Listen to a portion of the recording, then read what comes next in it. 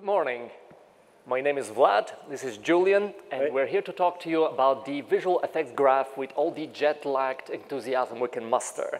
This presentation will have a bit of everything. We will start with some eye candy. We will go into an overview of what the system is, how it works. Julien will give a more deep technical overview of how it works behind the curtains, and then we're gonna have a live demo within the editor. Okay, and then we'll talk a little bit about what's happening next. But first, we're gonna show you a little reel we put together of some of the effects that we created during development. So some of this is programmer art, but here we go.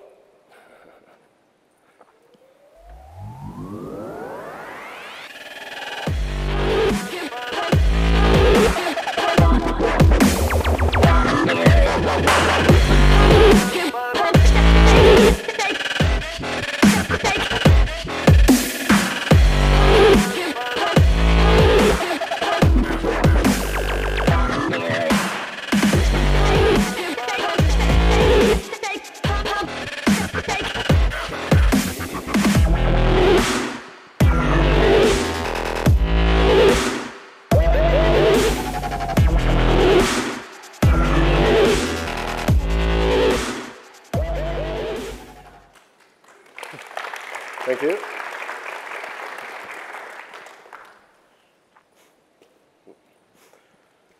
So we're going to start by answering this question, what is the visual effect graph? So it's a brand new tool we're bringing to Unity to create next generation visual effects in real time. It is fully visual and has a hybrid stack node base paradigm. So basically, you stack blocks into context of execution uh, to define some behaviors. And then you can drive blocks parameters with nodes. It is fully programmable and flexible. And we provide you with a standard library of nodes that can be extended. So when you work on a visual effect graph, you actually work on an asset where you can then expose parameters from this asset and instantiate it using VFX components within the scene. You can then override all those parameters directly within the components. We're using GPU for the simulation, so you need to have compute-capable device to run the visual effect graph. So the key points. We wanted an artist-friendly tool, so everything is visual, there's no coding involved, you don't have to write a single line of C Sharp if you don't want to. Plus, as we are, you're defining your behaviors within an asset, everything is compiled within the asset. All the behaviors is now data. It's no, no, no, uh, no runtime uh, needed anymore, no modules or stuff like that in the C++ runtime of Unity. So you can uh, define your, your features uh, quite easily and, uh, and add uh, whatever you want. We also have the scalability of effects, so you can you can author from a very small effect, like sparks or puffs of smoke, to a very crazy effect with millions of particles uh, with complex behaviors. Authoring VFX uh, using nodal interface has been popular in, um, in film industry for years and is now becoming a trend in the gaming industry. Finally, we provide an implementation for the HD render pipeline. So we implemented most of the features. So we got lit, and unlit, distortion, transmission, mostly everything. And if you want to plug the visual effect graph into your custom SRP, it's possible as well using a few hooks. So now we're going to continue with a small comparison between GPU and CPU particles. So the current particle system in Unity is using the CPU for the simulation. So all the data are simulated on CPU and then transferred to the GPU for rendering. For the visual effect graph, we're doing everything on the GPU. So it allows to, uh, to have a lot more particles per system due to the parallel nature of GPU. In the same way, the behavior can be much more complex for the same processing times. However, if you want to rely on the underlying physics systems, it resides in the CPU accessible memory. So for GPU particles, you need to rely on other scene representations, like primitives or sign distance fields. You can also use the depth buffer to get your particle to collide with it. If you want your particles to interact with uh, gameplay, you'd better have your simulation on CPU because reading back data from GPU to CPU is a very costly operation. And finally, on GPU, you have access to all the data that are in the video memory, like frame buffer, so you can achieve cool screen space effect that you cannot do with CPU particles. So both GPU and CPU have their pros and cons. And they need to cohabit to, uh, together, and, uh, and uh, you, you, you have to choose based on what you want to do, if you want to do on CPU or on GPU. So now I let Vlad talk about the concept of the tool. Thank you.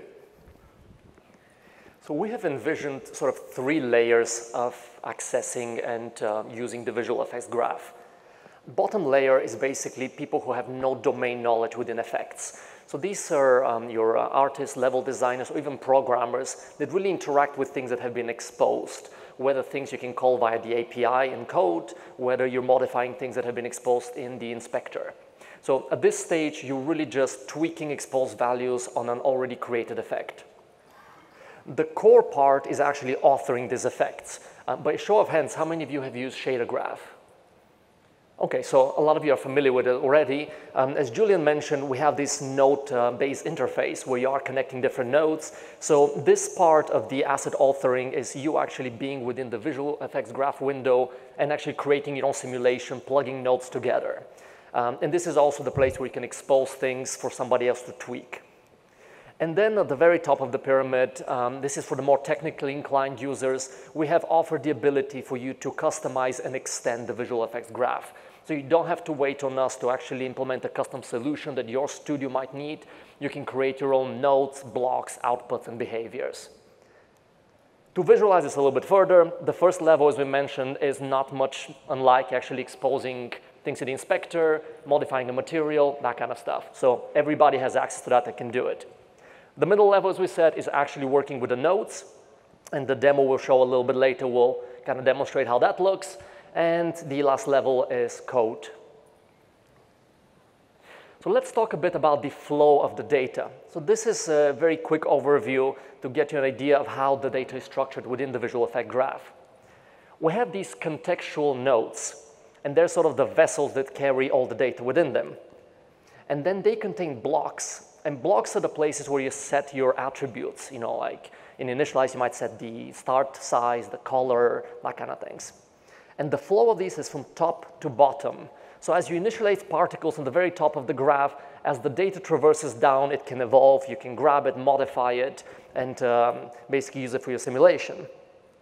And then the left to right, we can plug different nodes. This is very similar to shader graph for those who have used it. And this um, allows you to basically combine different behaviors to control and um, affect the simulation of these blocks. So as a higher end overview, there's a lot more depth that can go into it, but the first level is the spawning contextual node is basically determining how many particles are you spawning. It also determines how you're spawning them. Are you doing constant spawn rate, bursts, etc. In initialize, you're setting the initial values of these particles. Um, if you are familiar with the particle system within Unity, it is akin to the main module of the particle system. And uh, if you're programming, it's not much unlike the start method in C Sharp. So it's called once for the system. Then we have update. And this is a great place to put the logic that determines how your particles are going to change over time. And again, it is akin to the update method within C Sharp. And then we have the actual output. So the first three that we discussed here are really controlling the, uh, the count and the simulation of the particles, but at the end of the day, we have to render them on screen, and you can determine how that simulation is gonna be output on the screen. So basically, how are they rendered? As I mentioned, there is more depth to it. For example, you can actually plug events within spawners that you can actually trigger via the inspector or via script um, to start and stop the spawning of particles. You can do spawner chaining, where you can have one spawner plugged into another spawner. So its spawning can cause another system to start or stop spawning.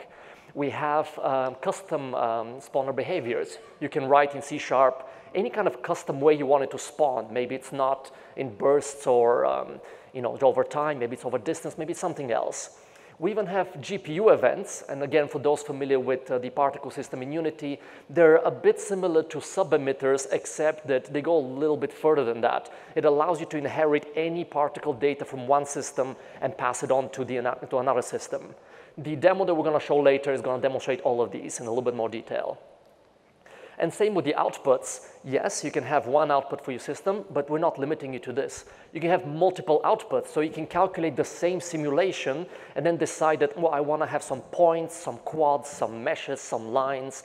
You can do some last minute adjustments to those as well, offset them, flip them, rotate them, change the color. So there's a lot of depth to explore, but we've designed the visual effects graph in such a way that it's quite accessible for beginners without having to require any prior knowledge. Now Julien is going to give us a proper technical overview of what's happening under the hood. Yeah. So we're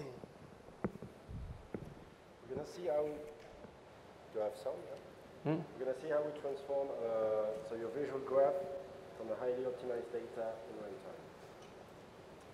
Just when you create an effect, you work with the graph, so you have your context, your blocks, the nodes. And all this is actually scriptable objects and it defines a hierarchy. All those objects are stored within the, okay. Check. Is it working? No? Okay. so all the, those objects are stored within uh, the, the visual effect asset as sub-assets. So from this high-level graph representation, we generate a lower-level representation we call the expression graph which is um, like an abstract syntax tree for those who are familiar with this term. So this expression graph goes into the VFX compiler, which will generate all the runtime data. So we, have, we generate quite a bunch of data. So first we generate shaders. So we generate compute shaders for all the simulation passes, and vertex and pixel shader pairs for the rendering. We're also able to evaluate expression on CPU, even if we are GPU particles only. For instance, for all the expression that are not changing per particle but are per system, they can be evaluated only once per frame on CPU instead of being evaluated once per particle on GPU. So we issue bytecode for that that will be fed into a CPU interpreter. Then we generate the data layout of the particles. As we know all the context, we know which attribute you are using in your system, which attribute you are writing, reading. We can generate a highly optimized data layout in the form of a structure of arrays. So only necessary attributes are stored. So for instance, if in your system you don't use, you don't write the velocity at all, it won't be stored, it won't exist in the system. We also generate a property sheet. that this allows to uh, access expose parameters by name via script or in timeline, and also to override them per component. And finally, a list of VFX systems that bind everything together and issue commands to our VFX manager. So a little use case here. So this is the graph of the the pink logo with millions of particles you've seen at the very beginning of this presentation. Um, so basically, we have a sphere, and we are moving this sphere using sine functions. Then we spawn particles on the sphere, and then the particles are attracted by a vector field. So a vector field is a 3D texture that stores direction. So the vector field has the shape of the Unity logo, and on top of that, we had another vector field, um, which is a high-frequency noise, and we're rotating this vector field so that the particles on the logo have cool motion. So from this graph, what will generate shader code and what will generate CPU bytecode. So here, we fetch the particle position and the particle velocity. We fetch the position uh, to blend the color based on the distance of the sphere and we fetch the velocity to stretch the particle size based on its speed. So this is on GPU because we are using particle data, so all the operation that follows will generate shader code. All the rest can be evaluated only once per frame on CPU. Then we have the concept of, do we know uh, a, a, given uh, computation at compile time or at runtime? So here we fetch the particle system time. So we use it uh, to rotate the sphere, to, to move it. We use it to, uh, to rotate the vector field, the noise vector field, and also to uh, change the initial particle color. So the time is not known at compile time. And we also have an expose parameters, which is the radius of the sphere. So it's not known at compile time because it can be overridden, it can be set via script, and etc. So all operations that follows are mutable and not known at compile time. So here we, the dark blue can be optimized as constant because they are known at compile time, so we can do constant folding on them. And here in this example, there's not that much, but it can remove lots of branch, big branches of the graph at runtime. So from that, we have two versions of compile data. One at edit time, so when you open your effect in, uh, in the graph window, uh, we don't want to, uh, to recompile uh, every time the effect. So you can edit all the values without recompiling the effect uh, directly. Plus, we add debug and profiling data to help you optimize your effect. Whereas at runtime, we will use the optimized constant folding reduced graph so that everything is highly optimized. A word on the production pipeline. So production pipeline is very important for VFX and tech artists because they always often use quite a lot of tools to generate the their data. So we need a smooth, a smooth workflow between those tools. Moreover, we'd like to bring to Unity as many things as we can so you don't have to, to, to use external tools to do simple things.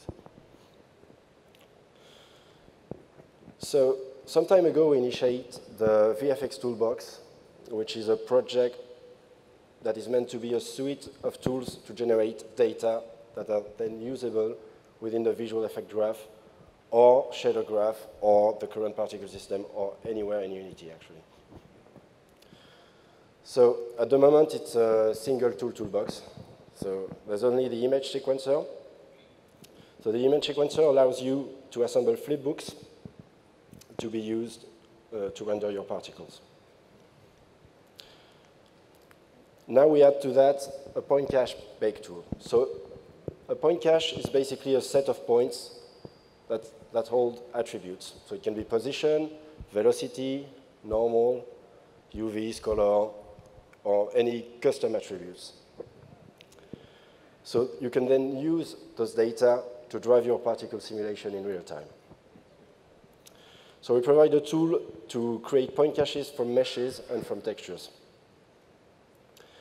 And we also have a Houdini exporter that can export vector fields and point caches directly usable in Unity.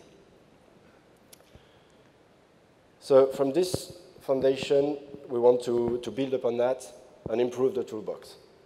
We want to add tools, to add exporters, to add lots of stuff. So first of all, the VFX toolbox will be a Unity package alongside the visual effect graph package because we didn't want to merge the toolbox within the, the, VFX package because we want the toolbox to remain independent so that you can use the, the generated data anywhere in Unity. Want to add more DCC tool integration, like exporters for Maya or Blender, for instance. We also like to, um, we want to improve the, the image sequencer by being able to generate motion vectors map, so from optical flow. So basically motion vectors allows uh, smoother interpolation between frames. So if you look at the uh, explosion animation here, so on the right, on your right hand side, you have the, the, the, the interpolation with the motion vector. So you see it's really smooth compared to, to the classical linear interpolation in the middle. And on the left-hand side, it's all the frames without any interpolation. So you see how it improves the quality of the, of the flipbook animation. And finally, we want to add quite a lot of tools to generate various types of data. We want tools to generate vector fields, sign distance fields from mesh. We also prototyped a flow map painter. So all this will uh, come eventually to the VFX toolbox. So now it's time for a live demo by Vlad, uh, directly in editor. Thank you. I think my favorite thing about this presentation is everybody who walked in late is wondering why I was standing so uncomfortably close to Julien. Right. So we put together a small effect to um, sort of show on stage and then deconstruct, um, just to kind of go over the things that are involved in it. Um, one thing to mention, you know how every live demo that you see always runs on a computer you can never afford? Um, I have a very small laptop here, so just to kind of show you that this is really real time and it doesn't really require any too kind of fancy equipment. So uh, we have a Genie lamp here because the uh, icon, the gizmo for the visual effects graph is a little magic lamp. And when we click on it, we can let the Genie out of the magic lamp. So we're gonna basically deconstruct this effect in a second and talk about you know, how it's made. And it's actually like really, really simple. There's only a few different components and we're just kind of repeating the same thing over and over again. So I'm gonna exit out of here and switch back to a scene that we have a bit more of a deconstructed view of what's happening. And then I'm gonna walk you through the individual steps. I also have, like in the previous presentation, little presets here. And just switching to the view that I need. Great. So I've disabled most of the things. We just have the smoke right here. Uh, one thing to mention is the smoke is lit. So we're using HDRP, and uh, these are lit particles. You know, they react real time to the light here. Um, there's a few different ways that uh, you can actually make things be affected with um, the scene. You know, I could have, for example, structured this with just some kind of velocity and you know, just forces to make it uh, curve around. But what I wanted to do is have a way to control it with uh, scene objects. So alongside the visual effect graph, we're actually going to ship um, a bunch of binder scripts. So if you don't necessarily want to write your own scripts, you know, they're pretty much you do add component, and we have these different binders.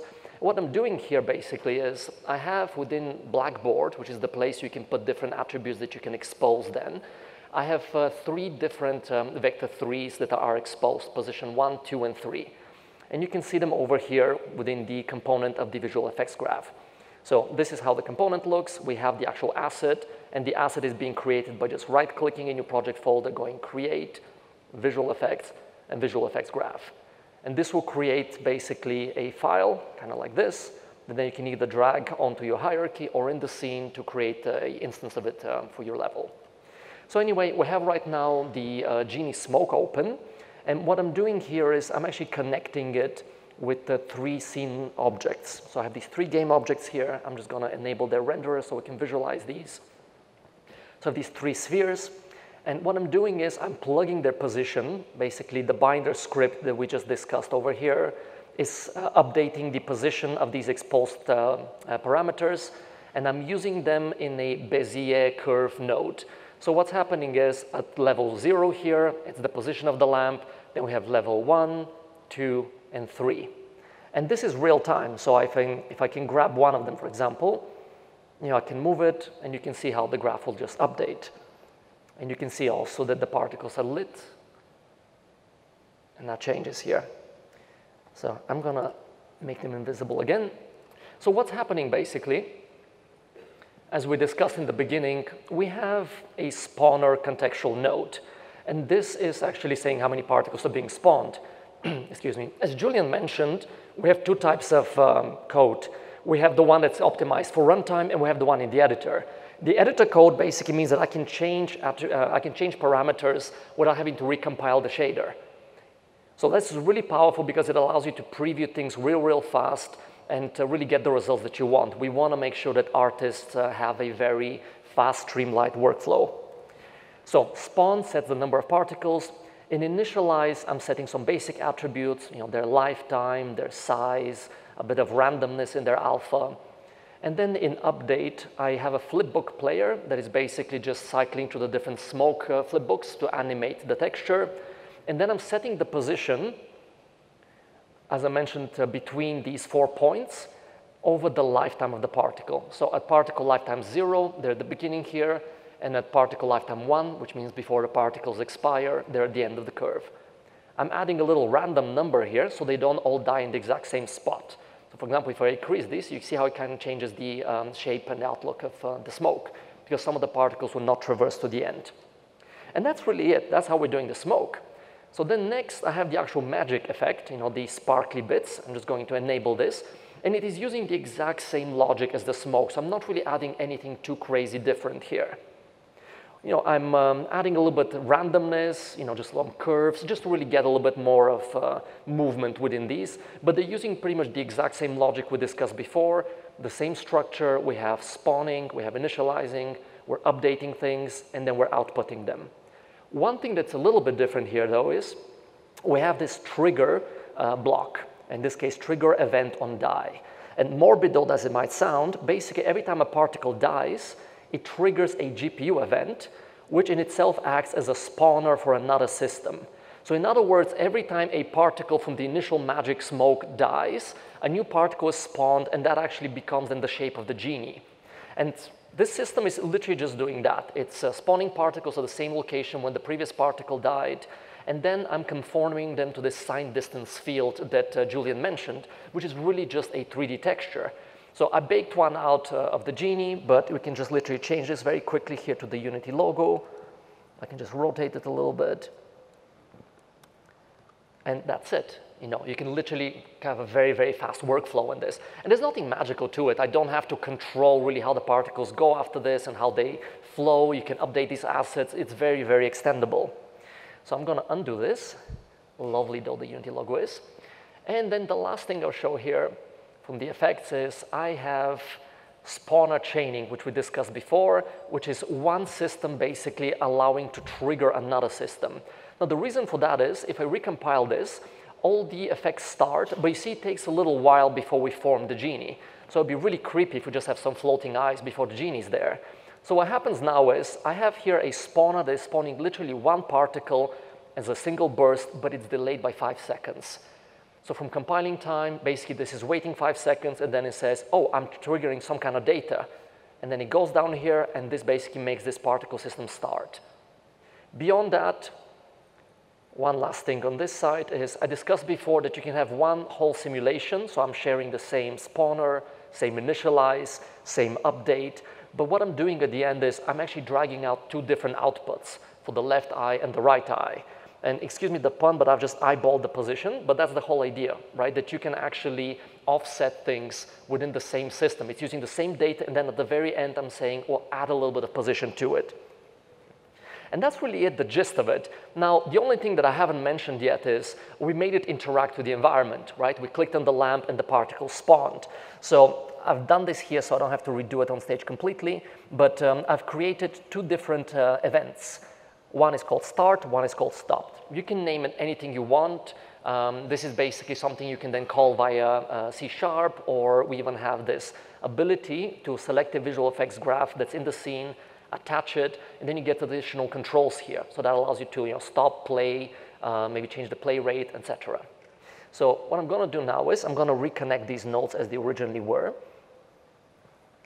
So move this down here, disconnect the old node. And just so it doesn't recompile all the time, even though Julien mentioned that, you know, this is a very powerful thing when you don't have to wait um, and click a recompile all the time, excuse me, um, we can also disable that. So if I turn off auto compile, I can make all the changes I need and then really just plug it in once I'm all done with them. So that saves me some time. So I'm plugging in these events with the um, spawning of the smoke. Uh, then I'm gonna plug them with the spawning of the uh, magic itself. So moving it down here, removing this. And last but not least, I'm gonna plug in the eyes to the same effect. So there it is. Disconnecting the old node and connecting the new one. So then I'm gonna just turn auto compile back on. I could have just clicked compile as well. And what this does now is that we have these events here. It's not auto starting by itself because it has an event plugged in, so it will wait for that event. I can click then start, it's gonna spawn system, uh, and I can click stop at any point, and it's basically gonna just stop spawning new particles. Um, a few other things to mention, which uh, we'll cover a little bit more. We have another session tomorrow uh, in um, one of these pop-up talks that's going to be more in the editor and go more step by step on some of the simpler things. But um, we have a lot of different nodes that we've added. Um, you can really just browse through them and um, combine them in any kind of different way. Uh, we have also basic systems that we added that you don't necessarily even have to start from scratch every time. So if you find yourself in your studio reusing sort of the same base effect and then you keep extending it, you can drop these in a special folder where then you can literally just create a new system from one click. And then if you need to, you can modify it a little bit further. Okay? And that's basically it for the demo part. We're going to go back now to uh, PowerPoint. And I'm going to pass it on to Julien, along with my microphone. No, I think your mine is working now. Oh, happy days. um, so keep in mind, the VFX graph is at a very early stage at the moment. So it's experimental. It's not production ready yet. And uh, we count on you to provide us with feedback to help us improve the tool and implement the features you need. So the visual effect graph will be available as an experimental package in Package Manager for 18.3, so during November. Still, we have uh, some features that are missing and that we'd like to add uh, as soon as possible. First one is shader graph integration. So we really want a tight integration between shader graph and the visual effect graph so that you can use particular attributes directly within shader graph to, to drive your vertex and pixel computations. We also have to implement subgraphs so that you can create behaviors into subgraphs, share them with others, and reuse them. We definitively want CPU particles. So this will be built on top of ECS, HPC Sharp, job system, all the effort that was put recently into Unity to have fast uh, processing on CPU and fast parallelism. And finally, we want to add other container than particles. We want to add trails, ribbons, volumes, or procedural meshes. So uh, this concludes this presentation. So thanks for listening. Hope you enjoyed it. And uh, if you have any question, we're happy to, to try to answer them. There's a couple of mics in the back. If you have questions, we'll ask you to use those um, because the session is being recorded. Um, a little bit of also in um, housekeeping. Uh, later today on the keynote, we'll have an unveil of an actual visual effects demo that we have worked on. So uh, check that out definitely. Um, and yeah, we definitely look forward to seeing what you guys are going to make with this. So thank you very much. Thank you.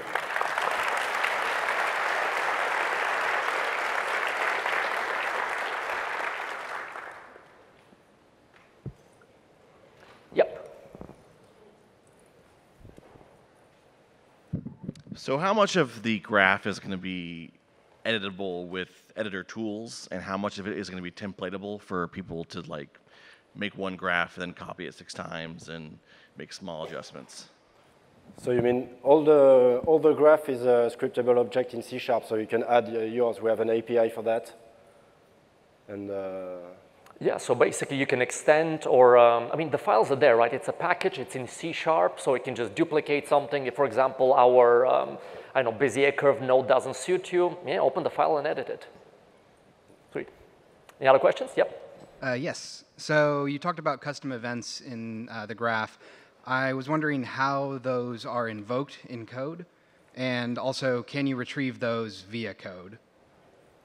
So we have an API uh, in uh, the component send effect. So you send your effect, and that's it. and uh, you can also, uh, what wasn't mentioned, you can bound, um, you can add attributes to the effect that will be reused by the simulation. So you can read then the attributes you send to the effect. For instance, you, you can send an effect with a red color or an effect with a blue color, and then reuse them in a, in a, in a, in a simulation of the particle system.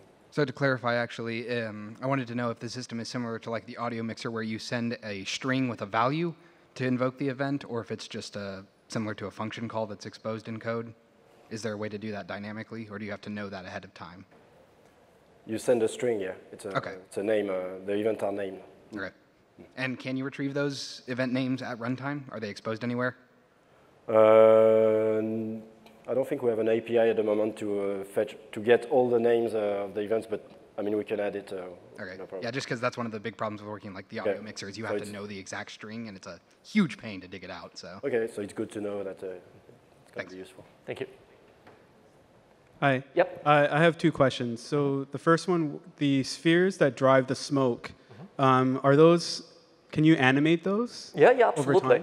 Time? Um, I didn't want to go here into play mode because, as I mentioned, I have a very small laptop that's not the most powerful. But uh, in the original uh, effect that I played, um, yeah, they actually have a bit of Brownian noise and they're just moving around a little bit. So yeah, you can. It literally is just grabbing and um, doing set vector on the shader with that position. So as long as that changes, it will actually update the values. So absolutely. Yeah, and then can- the second one is um, with the genie with the particles dying on top of it on the static image.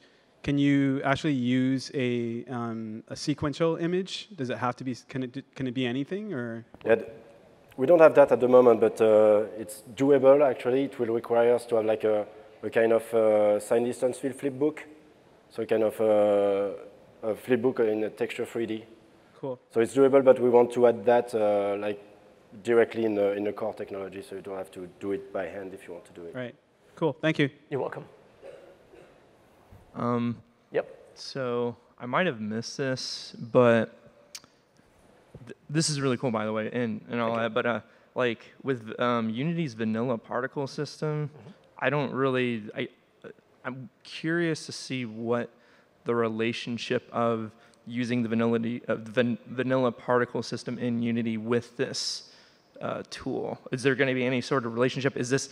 I mean, I don't think that this is meant to be like a replacement for it, but I mean, that's actually what I thought it was at first because of just like how how much uh, more you can do with it uh, and stuff in, in terms of workflow and everything. But what, what is your goals behind that? So as Julien mentioned, uh, when we compared CPU versus GPU particles, there's definitely use cases for either. And right now, because the visual effect graph is GPU only, by all means, it's not going to replace Shuriken. Later down the road, you know, once we implement the CPU part, then that's maybe another conversation we can have. But Shuriken is going to be relevant for many, many years. That being Oh, said, yeah, but that being said, also, um, you know, it really depends what kind of effect you're looking at. You know, if you need something to collide with the world as it is, you know, and you don't need a lot of particles, you know, then yeah, you can definitely use uh, the um, particle system within Unity. Um, but um, I, I guess it's really like just the tool for the right job, you know, based on what you really need for that. Yeah, but yeah, just to add to that, uh, as soon as we have uh, CPU particles and feature parity, I mean, you can do everything that you can do Shuriken within the, the visual effect graph, basically. And uh, the, the advantage is that you can create your own custom behaviors very easily. You don't have to rely on us to add some new modules to Shuriken to add some stuff.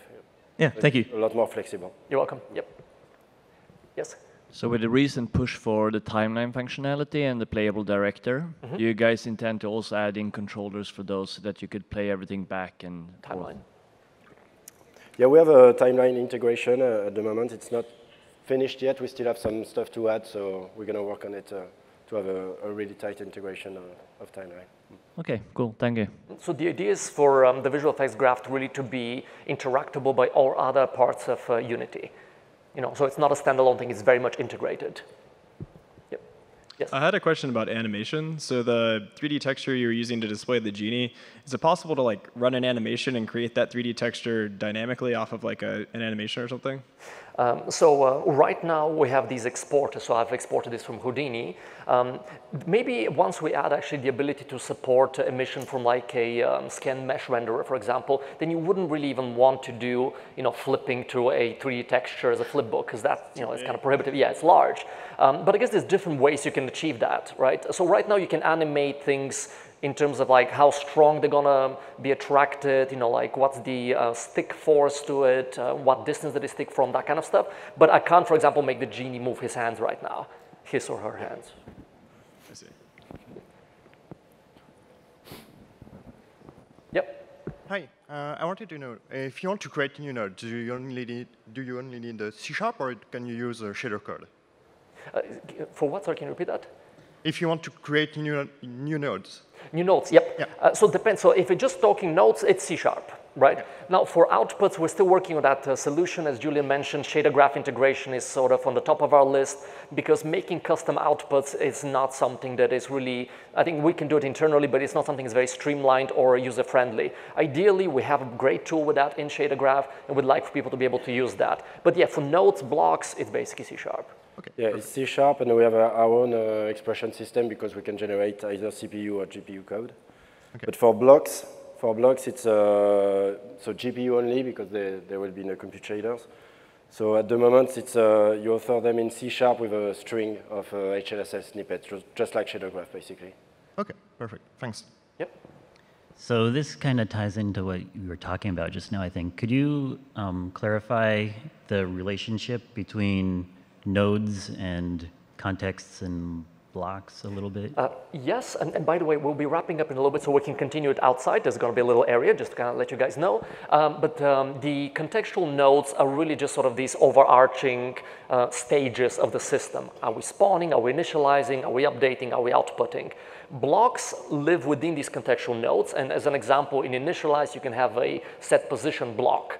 And then later in update, I can have an at position block. So blocks are really the ways that you um, sort of uh, edit and um, control the attributes uh, that are per particle. And then into those, you plug the nodes. And the nodes are everything that's outside of the actual big graph.